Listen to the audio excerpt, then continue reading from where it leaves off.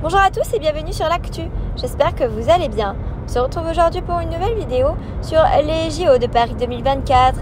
Pourquoi Roman Dico attaque les Teddy Riner pendant la parade des champions?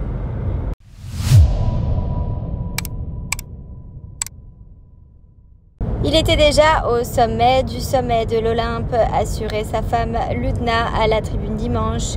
On aurait envie de la rejoindre car c'est une question qu'on est en droit de se poser. Teddy Riner possède-t-il au moins un défaut? C'est exactement la question qu'a posée l'animateur. De n'oubliez pas les paroles à la judocate Roman Dico qui s'est empressé de faire redescendre son équipier au rang des mortels. La coque de Teddy Riner, c'est lui-même, s'il vous plaît, annonce-t-elle en montrant le dos du smartphone à la foule. Est-ce que on peut en parler? Teddy Riner, explique-nous ça, continue-t-elle, taquine. Le judoka aurait-il pris la grosse tête? À en juger sa réaction hilare, pleine d'autodérision, fort est à parier que non.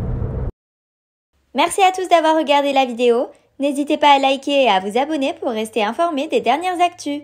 À bientôt sur l'actu.